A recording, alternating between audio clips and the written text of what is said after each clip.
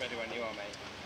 So we're here at uh, Czech Republic this weekend. Um, I'm back at the MXGPs after my collarbone injury.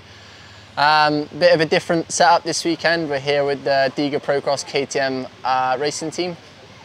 I'm looking forward to it. I'm excited. It's a new chapter for me. I'm stepping up into the 450 class MXGP, and uh, yeah, I'm really excited. It's going to, um, I think, for me, like you said, it's a it's a new challenge. It's something to kind of uh, yeah, new goals as well to, to try and achieve and things like that. And most importantly, I don't really uh, don't really have any pressure. So uh, yeah, just looking forward to going in and, and having fun this weekend. Um, I've tested the 450 uh, a few times now on the sand and on the hard ground, um, and it's uh, a completely different riding style to the 250.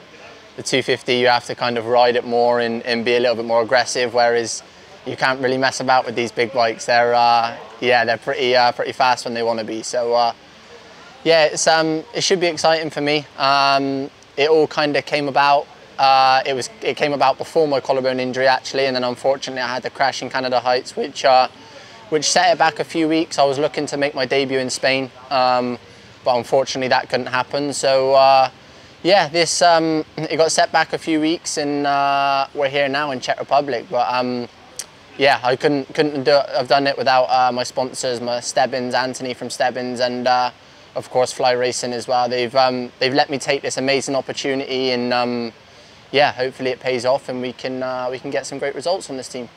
What do you think of Czech as a track?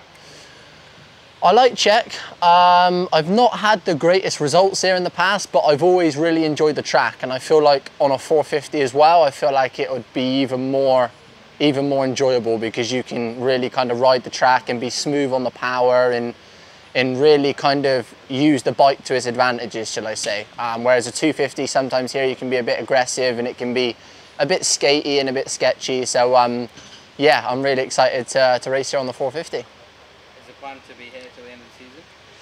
Yeah, so the plan is to to race the um, the last remaining GPs. Um, obviously not Turkey or um, Oman, um, but I'm here to to race the last five GPs, and um, yeah, hopefully if we can just get better and better each weekend, um, and uh, yeah, potentially set myself up for a um, for a ride next year somewhere. Um, obviously, that's what I'm on the I'm on the lookout for. I'm trying to prove myself on the 450. So uh, yeah, hopefully, if we can put some good results in and um, yeah, show that I can ride a 450.